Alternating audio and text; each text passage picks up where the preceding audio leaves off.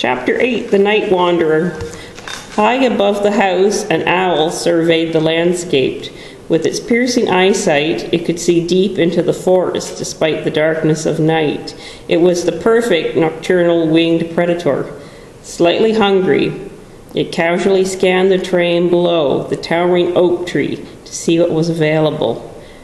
To its lower right, something caught its attention. One of those two legged creatures that seemed to be everywhere was crawling out of a window.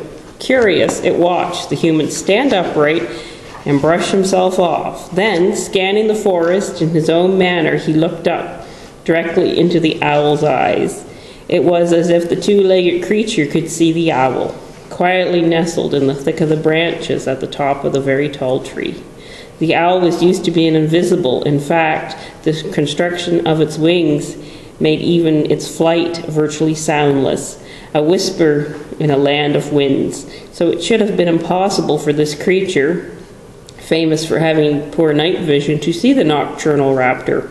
The human pursed his lips and emitted a note perfect owl call. Hoo, hoo, hoo. It was so perfect even the owl did a double take. The two legged beast could see him and talk to him. This was too much for the simple country owl.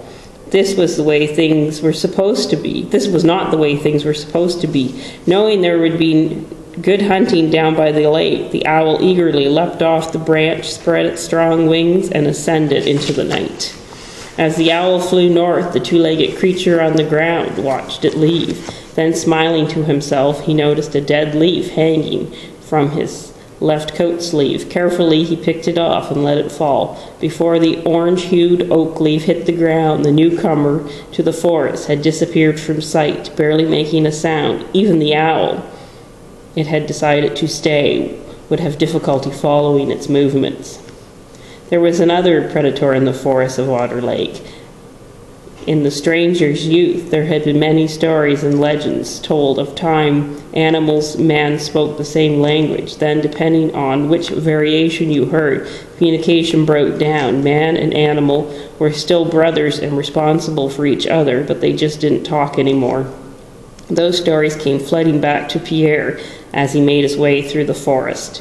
The familiar animals of his youth were all around him. A skunk that was hard to miss for obvious reasons slept a dozen or so yards to his left. A small fox, unaware of the man sitting on a branch 20 feet above, stuck his nose in a pile of leaves looking for a shrew. Even the owl the man had locked eyes with earlier was now invisible in the distance to all but the stranger's unusually strong vision.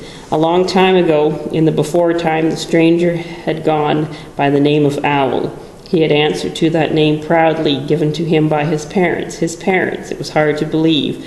A creation like him could have parents, born of a loving mother, taught to swim, hunt, fish by a loving father. But like many things in life, memories such as those had dimmed, some by time, some by intention. Far in the distance, you could hear the community slowly going to bed, living their mortal existence. In some cultures, the owl was a symbol of foreboding even of death. Some would consider the stranger to be the same. In the un- unaccountable years he had killed frequently, without thought, without effort, he was dangerous to those voices out there going to bed, like the owl to a mouse. He was strong, he was quiet, he was deadly. And what was worth, worse, there was nothing the unsuspecting people could have done, because many would argue he did not exist. And when you don't exist, it's very hard for people to defend against you. Once more, the stranger scanned the homes of his ancestors, take, taking in the sights, the sounds, the smells. In a flash, he was gone. It was time to visit the village of Otter Lake.